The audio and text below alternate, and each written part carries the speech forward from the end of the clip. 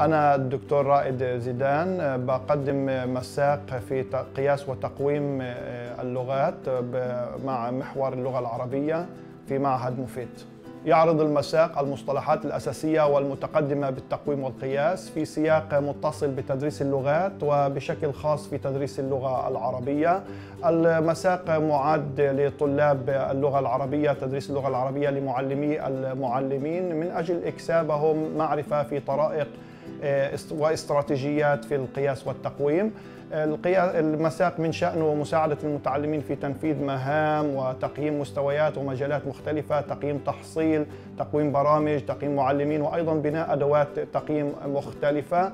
يهدف البرنامج أو الدورة إلى إكساب مصطلحات في التقويم التربوي كشف المتعلمين على نماذج تقويم في تدريس اللغة العربية بالأساس كما يهدف إلى بناء وممارسة تطبيق أدوات تقييم بديلة مثل الاختبار ملف الطالب وأدوات أخرى سنتحدث عنها لاحقا كما ويفيد في تخطيط وتنفيذ تقويم للمعرفة اللغوية لدى المعلمين وأيضا يهدف المساق إلى التعرف إلى الأدبيات المحتلنة والحديثة والنظريات في هذا المجال.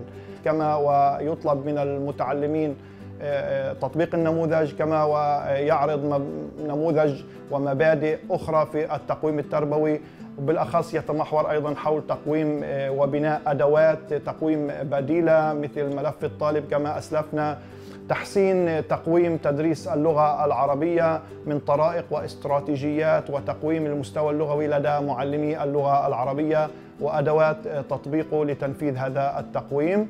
وأيضا يخصص جزء لا بأس به في تطبيق في التعرف وتطبيق على نموذج ال CIPP في تقويم البرامج والمشاريع التربوية التعليمية بالأخص في مواضيع اللغات. في نهاية المساق سوف يحصل المشتركون على شهادة إنهاء من معهد مفيت ويسرنا رؤيتكم واللقاء بكم في هذه الدورة.